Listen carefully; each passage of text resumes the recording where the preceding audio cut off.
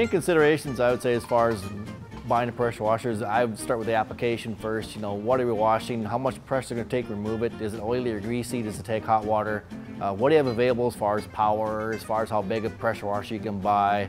Is it a mobile application? Got to be engine driven? Those are the kind of things you look at. The thing most people don't understand, no matter what pressure washer you buy, from two gallons a minute up to 20 gallons a minute, or from 500 psi up to uh, 5,000 psi. They all do the same job of cleaning.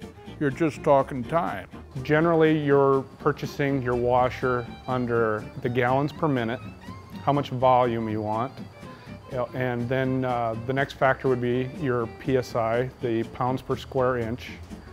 And that's all based on how much volume you're pushing with what size power source through the size of the tip orifice, which actually creates the pressure. And we have all different kinds of models where you want gas engine, diesel engine, single phase, three phase power, you name it, hot water, cold water, different types of heat, electric heat, gas heat, diesel, you name it, we've got it. A lot of different ways we can uh, build a pressure washer.